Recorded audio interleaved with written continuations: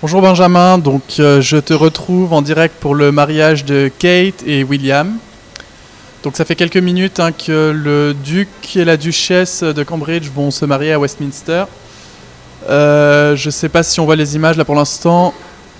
Oui, on les voit. Euh, des milliers de gens sont présents à la cérémonie.